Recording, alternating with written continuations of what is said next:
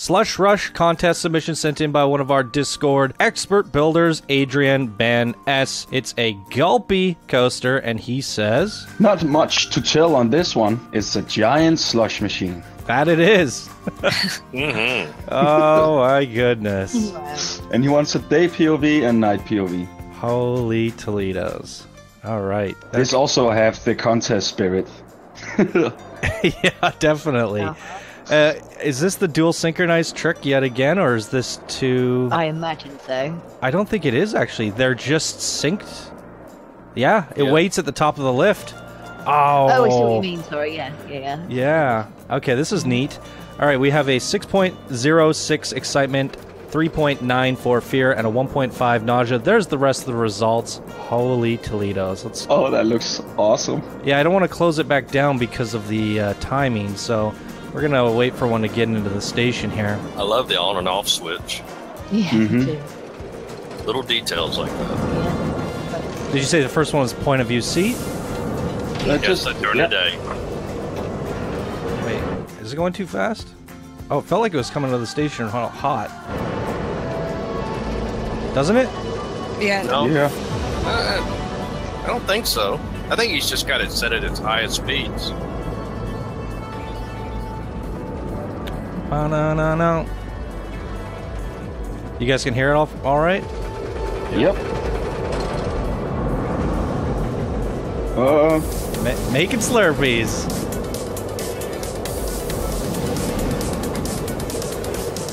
Yeah, into the cup. oh wow.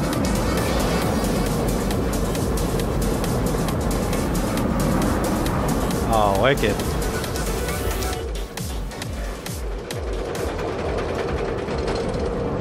On to the next one.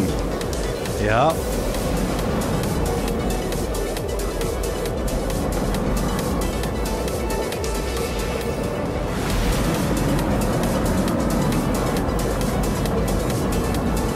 It's got some good length on this. That's impressive. Yeah. It's custom sports too, doesn't it? Oh yeah, it has. Looks like it. What are we riding for uh, the next one? Nighttime point of view. I think he messaged me about cinematic and not working, but I wouldn't mind trying it. There's a nice glow to it at night.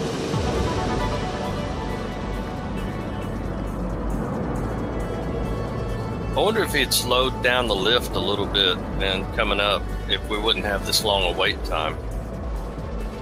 Good point. That's yeah.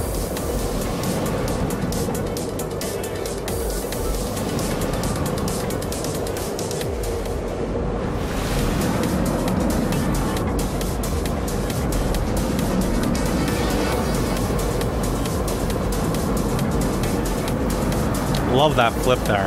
Super smooth. Yeah. Right into the lift like that. It's- wow.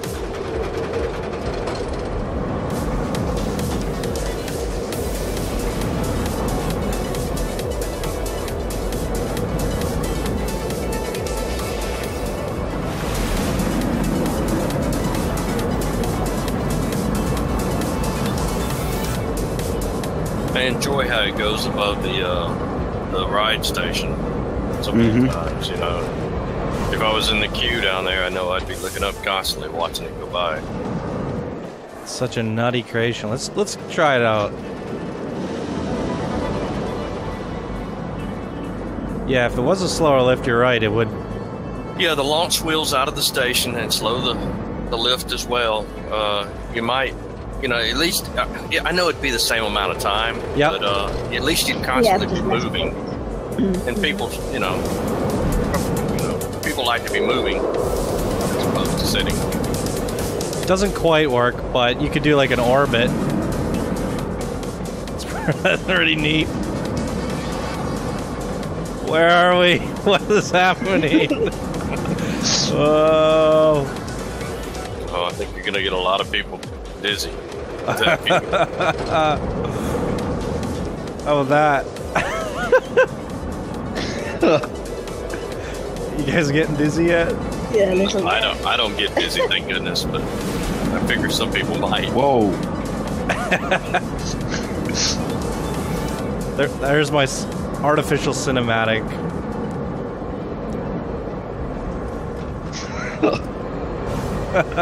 Did my best. Oh boy. Look at that. I like that the lights are soft. Mm-hmm. Really subtle. Yes. Kind of hard to pull that off with art shapes. So what I like, he did the Planet Coaster theme again, but colored it with Gulpee. And and that was Yeah. some, something I was talking about how I wanted to do the Planet Coaster theme, but then just trim it all different colors, panel it with different colors, and uh, that just goes such a long way. I can see Pizza Pen like that. And as, as you see here, Gulpee, it looks really nice with just a little bit of trim. I think the Tiki Cheeky would come out really strong with just a, a lining of wooden trim, that purple border or whatever, um, green face maybe. Well, take me down to the shop Look at that again for a moment, He's if you would. the font. Yeah. Yeah, very nice. And I like the little tiny water drips. droplets. Yeah. Yep. Yeah. Sorry, what were you asking for?